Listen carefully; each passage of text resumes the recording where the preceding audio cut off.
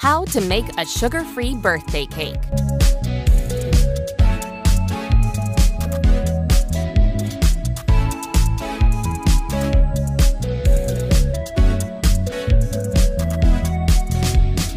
You will need artificial sweetener, coconut flour, almond flour, xanthan gum, unsweetened almond milk, free range eggs, baking powder, pink Himalayan salt, unsalted butter, apple cider vinegar, vanilla extract, and sugar free sprinkles. Step 1. In a large mixing bowl, mix together the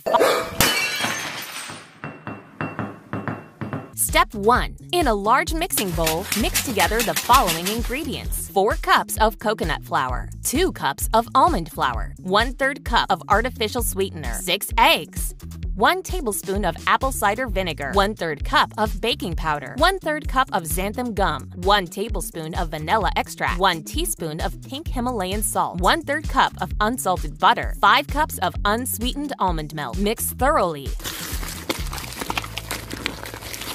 More almond milk. Mix thoroughly. Add more almond milk. Mix thoroughly. Add more almond milk. Mix thoroughly. Add egg. Mix thoroughly.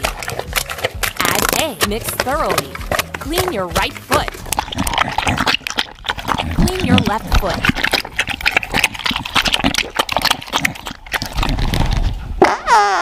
Mix thoroughly. Mix thoroughly. Add white sugar, brown sugar, dark brown sugar, sugar cubes, sugar, white sugar, brown sugar, sugar, sugar, brown, white sugar, brown sugar, white raw sugar, dark brown white sugar cubes. Mix thoroughly. Add sugar-free sprinkles. Scoop up the sugar-free birthday cake mixture and place it into a cake tin. Compact it. Bake at 180 degrees Celsius for 30 minutes. Cover the sugar-free birthday cake in icing. Decorate with sprinkles.